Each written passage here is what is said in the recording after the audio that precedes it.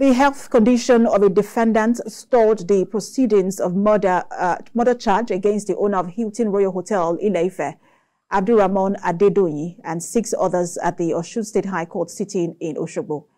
At the resumed hearing, one of the defendants, Magdalene Chiefuna, suddenly developed a strange health condition which made the Chief Ju Judge Justice Adepele Ojo order a recess pending the resolve of the circumstance. Counsel to Rahmon Adedoyin and counsel to the second, fourth, and fifth defendants prayed the court for the adjournment of hearing of the defense, which the new lead prosecution counsel Femi Falana did not oppose. Justice Adepele Ojo therefore adjourned the case to the 25th of May for continuation. Case came up this morning.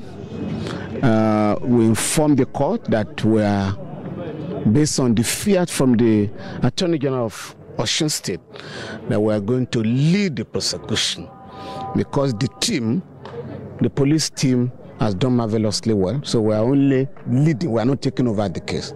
We are leading the prosecution at this stage.